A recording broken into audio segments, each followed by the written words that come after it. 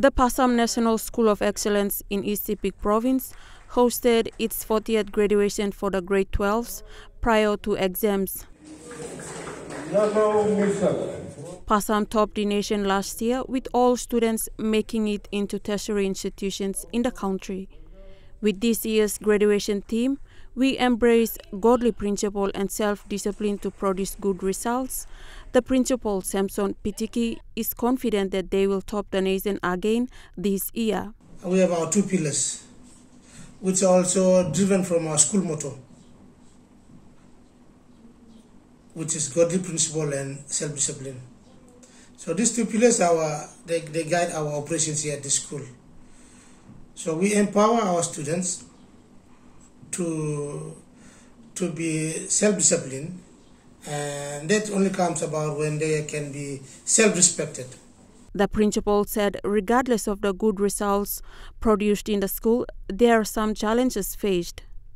He said infrastructure and access to internet are the major problems faced in the school.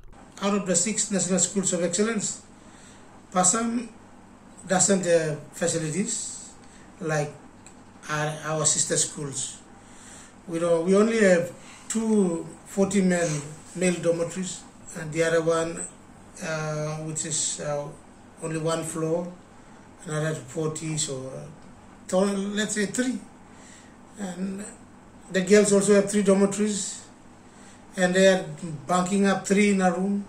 The Dux for this year's grade 12s was awarded to a STEM student, Wantep Pim thanked God for his achievements and he mentioned that he always gives his best in his studies. I really also want to appreciate one person who, who is always at my back is my mom. Her prayers have made me come this far.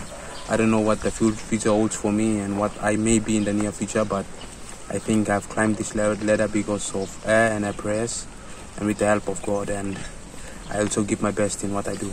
He mentioned that it was a challenge for him to take up STEM when it was first introduced last year.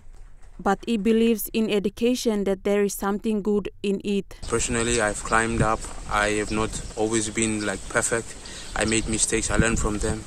And I know that learning from mistakes is the powerful way of learning. The 211 students at Passam will sit for their national exam on Monday with the rest of grade 12s throughout the country. Estagane, National MTV News.